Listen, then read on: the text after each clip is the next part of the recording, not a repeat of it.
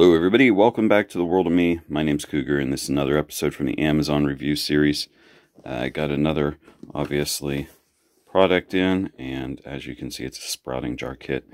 Uh, trying to get into some natural stuff here with uh, growing and whatnot.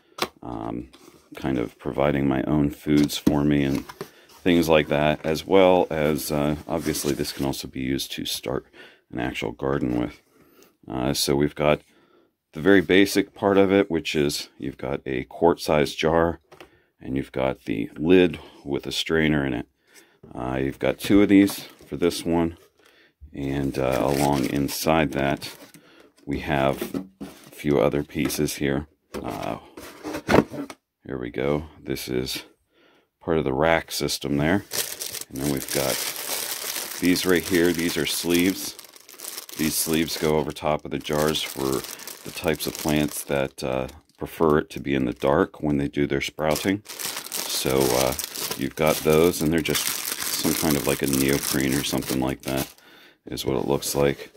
We, of course, have a card, obviously the whole thank you and whatnot, and uh, then some basic instructions on getting started. So you've got the dish that it sits in, and this dish, uh, then you get the rack piece, sit it in there, and as you can see, it is set to hold these. You uh, don't fill this all the way up. Go according to the instructions, or uh, you can, of course, look it up online for how much to put in here. Sometimes you can put more, sometimes you should put less in there, depending on the type of uh, bean, seed, whatever that you're trying to germinate. Uh, but you'll fill it up, you'll soak the stuff for a while, then you'll drain it out mostly, and then you set it in the racks down like this so the rest of it can finish draining. Uh, and according to the instructions that I saw, uh, this will happen uh, twice a day. You'll want to rinse them um, and uh, dump the water out, and that way it'll keep them from drying out. And within a couple of days or so, you'll start getting germination and uh, a little longer than that, and you will get a jar full of sprouts that you can either eat or you can take and plant. So it's a pretty simple setup. I'm going to go ahead and try this. I have uh, a few different things I'm going to try.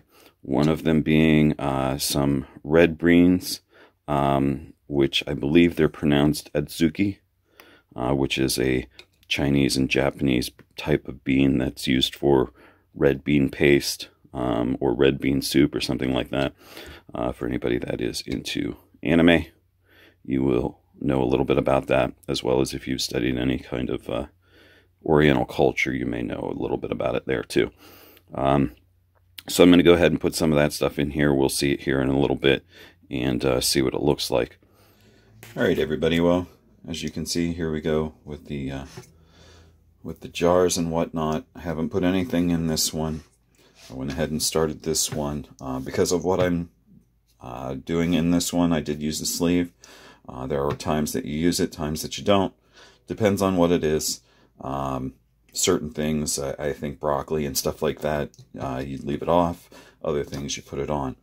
Uh, now, this has been roughly about a week, uh, maybe a little bit longer. As you can see, some of the stuff is draining out there at the bottom, and that's why you lift it over.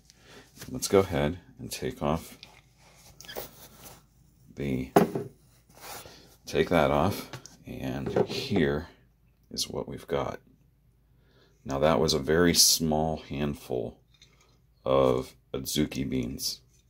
And as you can see, they've sprouted up really nicely. Looks like I'm looks like one didn't want to sprout so well, but uh, most of them have done really, really well. Um, I can take these then and I could plant them if I want, grow some full ones.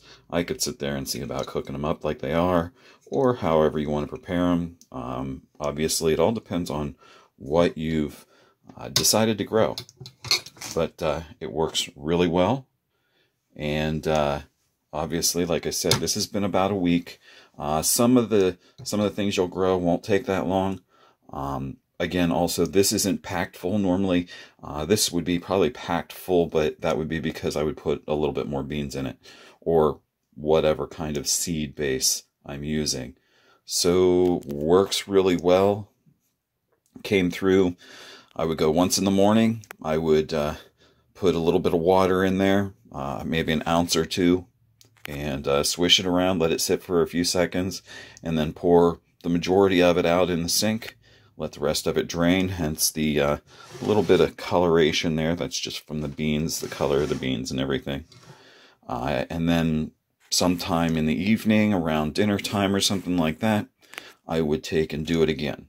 And uh, you just do that twice a day, and this is what you get. I mean, I've done nothing else to it to get it to sprout up like that, and it looks great. So, uh, so if you guys go ahead and get this, Hope you uh, enjoy it, have at it, and uh, grow some of your own sprouts uh, to eat or to plant. If you guys want to check this out uh, and you want to see this on the Amazon site, there are, of course, a ton of these on there. This was the one that, like I said, has the sleeves, and uh, this this is why I preferred this one. But you can go down there in the description below.